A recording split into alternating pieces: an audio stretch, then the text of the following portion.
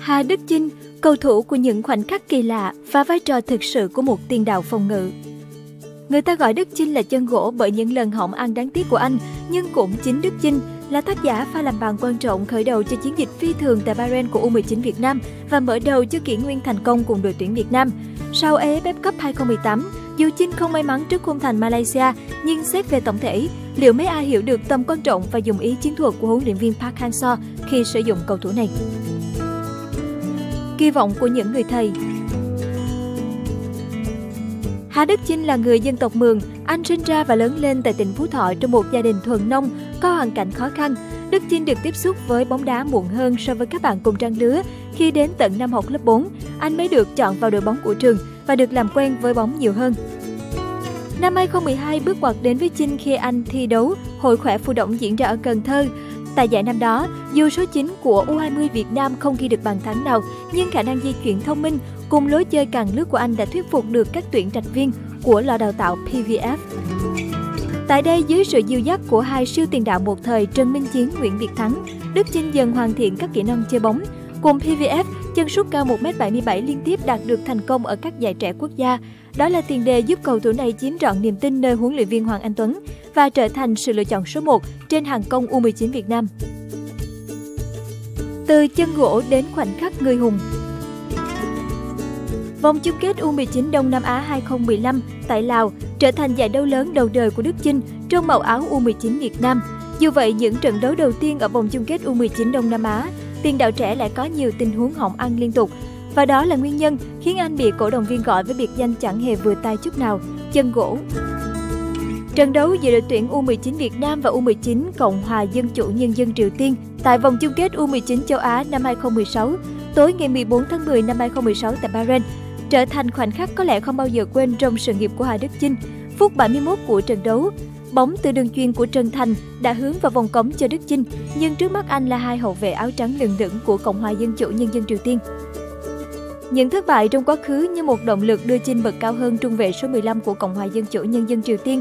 Với một cú đánh đầu hiểm hóc, bóng tìm về góc thấp khung thành, rồi tung lưới đối phương. Anh hét thật to và lao vào trong vòng tay của đồng đội và các thầy trong ban huấn luyện. Hai năm qua, U19 Việt Nam đã rơi biết bao nhiêu mồ hôi, máu và nước mắt và tất cả như cùng nhau vỡ òa sau bàn thắng ấy của Đức Chinh. Pha lập công của anh chàng mà người ta vẫn gọi là chân gỗ ấy lại trở thành phát súng mở đầu cho cơn địa chấn U19 Việt Nam tạo ra tại Bahrain. Và bàn thắng đó cũng mở đầu cho chương lịch sử mang tên U20 World Cup của thầy trò huấn luyện viên Hoàng Anh Tuấn. Con đường đến với bóng đá đã và đang được Đức Chinh đi qua, con đường đến với World Cup cũng được anh cùng các đồng đội chinh phục cầu thủ của những khoảnh khắc.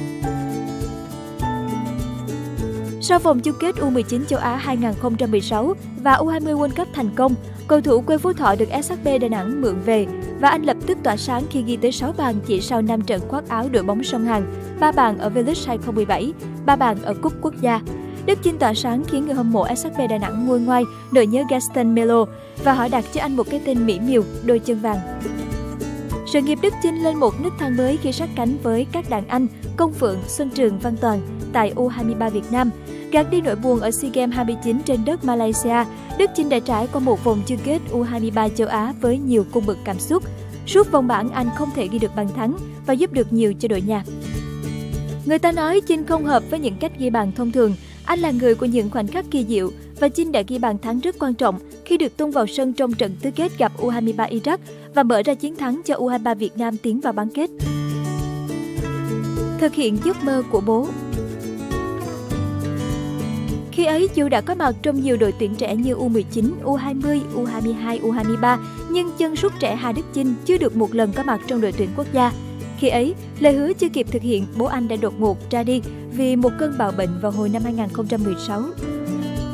Đầu tháng 6 năm 2017, cứ ngợi giấc mơ có mặt trong đội tuyển quốc gia đã đến rất gần với Đức Chinh, nhưng cơ hội đột ngột vụt mất khi anh bị chấn thương rạn xương sườn. Hôm ấy nhìn các đồng đội cùng trong đội tuyển U23 khăn gói lên tập trung đội tuyển quốc gia. Theo lời triệu tập của huấn luyện viên Nguyễn Hữu Thắng, Đức Chinh lặng lẽ ra bến xe Mỹ Đình về thăm nhà ở Phú Thọ trong nỗi buồn to lớn. Sau đó, Hà Đức Chinh đã đón nhận tin vui khi anh được gọi lên đội tuyển quốc gia trong khuôn khổ vòng loại Asian Cup 2019 ở trận lượt đi Campuchia hồi đầu tháng 9 năm 2018. Hôm đó Đức Chinh mừng rớt nước mắt và muốn reo lên vì vui sướng. một lần nữa được có tên trong đội tuyển quốc gia ở trận lượt về gặp Campuchia vào ngày 10 tháng 10 trên sân Mỹ Đình. Một năm sau ngày bố của Chinh ra đi, chân sút trẻ tuổi này cuối cùng cũng đã thực hiện đúng lời hứa với cha mình. Đức Chinh chia sẻ rằng, có lẽ ở nơi xa lắm bố con đã có thể mỉm cười chú nhỉ. Thế nhưng con còn phải cố gắng nhiều lắm, vì thực sự con vẫn chưa làm được tốt nhất như kỳ vọng của các thầy. Bạn đang xem video tại kênh Người Nổi Tiếng. Đừng quên tham gia group của nhóm để cùng chia sẻ ý tưởng của bạn nhé. Thông tin chi tiết bên dưới video. Cái tên được lựa chọn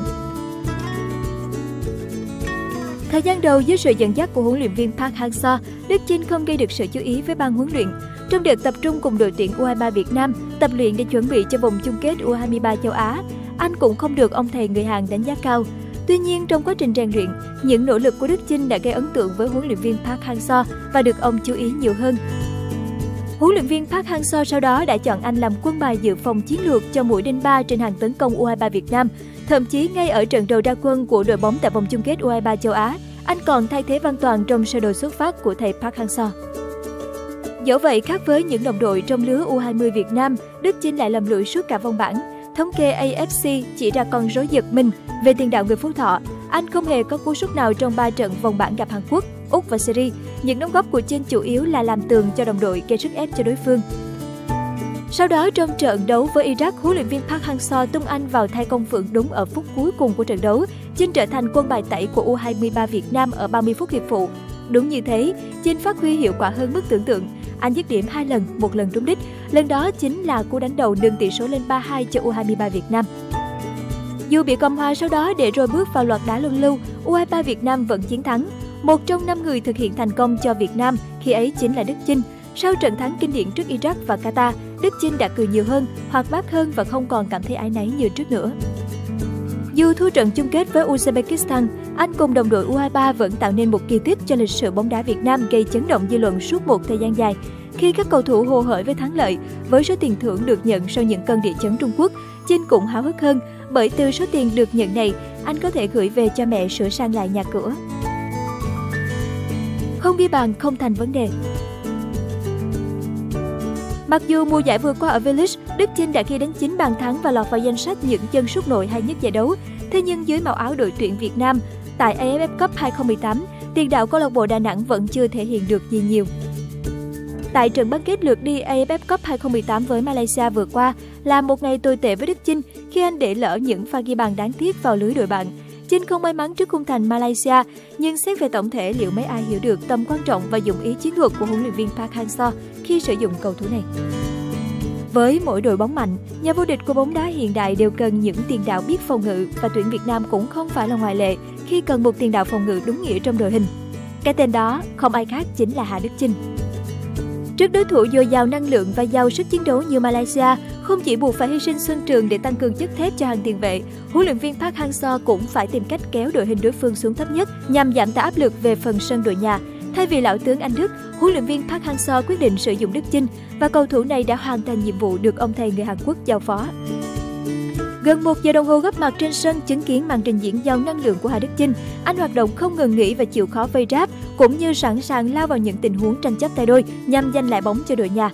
Chỉ tính riêng trong hiệp 1 không dưới hai lần, các hậu vệ Malaysia phải bở hơi tay mới có thể chiến thắng tiền đạo của tuyển Việt Nam. Sức trẻ và sự máu chiến của Hà Đức Chinh không chỉ phá sức hậu vệ đối phương mà còn buộc họ lùi sâu và để mắt tới tiền đạo này nhiều hơn, qua đó tạo điều kiện cho các đồng đội phía sau băng lên dứt điểm, mà bàn thắng mở tỷ số của Huy Hùng chính là ví dụ điển hình. Thế mới thấy tuyển Việt Nam vẫn cần Hà Đức Chinh dù anh không ghi được bàn. Sau khi đội tuyển Việt Nam đăng quang tại AFF Cup 2018, tương lai vẫn còn rộng mở và có nhiều điều cần cải thiện với Hà Đức Chinh. Tại Asian Cup 2019, đội tuyển Việt Nam cần một trung phong đủ khả năng tung ra những nhát kiếm chí mạng và các đối thủ được đánh giá cao hơn rất nhiều. Do đó, Đức Chinh cần phải rèn luyện và nâng tầm kỹ năng dứt điểm của mình hơn nữa. Lộ diện bạn gái xinh như hoa trên sân cỏ, Đức Chinh là một cầu thủ lạnh lùng, thi đấu nhiệt huyết hết sức mình, nhưng khi ngoài cuộc sống thì anh lại là một người thân thiện và hòa đồng. Với tính cách hài hước, gần gũi, Nam tiền đạo được ví như cây hài, giúp gắn kết tình cảm giữa các cầu thủ và giữ không khí vui vẻ lạc quan trong đội. Tuy nhiên, anh lại là một trong số những cầu thủ chưa công khai có bạn gái và khá kín tiếng chuyện tình cảm. Và mới đây, tiền đạo SSB Đà Nẵng đã bị các fan hâm mộ bắt gặp khi mặc đồ đôi và tay trong tay với một cô gái. Theo tìm hiểu, cô gái may mắn bên cạnh Đức Chinh tên Mai Hà Trang, sinh năm 1998 quê ở Bắc Giang. Hiện Hà Trang đang theo học tại trường Đại học Mỹ thuật Việt Nam. Không chỉ có gương mặt xinh xắn, bạn gái tin đồn của Chinh Đen còn sở hữu thân hình chuẩn hút mắt. Dù cả hai đều chưa lên tiếng xác nhận, người hâm mộ vẫn tin rằng Đức Chinh Hà Trang là một cặp và mong họ sớm công khai tình cảm. Cảm ơn bạn đã xem video tại kênh Người Nổi Tiếng. Đừng quên nhấn nút đăng ký bên dưới để ủng hộ nhóm nhé!